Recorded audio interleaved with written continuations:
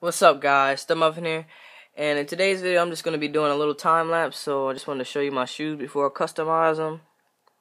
Got some J's right here, my old shoes, so yep, and I'll show you the end product. Peace.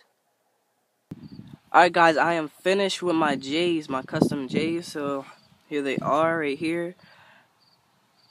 As you probably saw earlier in the video, all this was gray.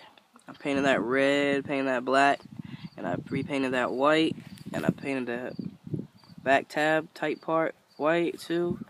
These are really fresh. I actually wore them today at school. I got tons of compliments on them. So yeah, hope you guys enjoyed. If you did, go ahead and like, comment, and subscribe. Still Muffin out.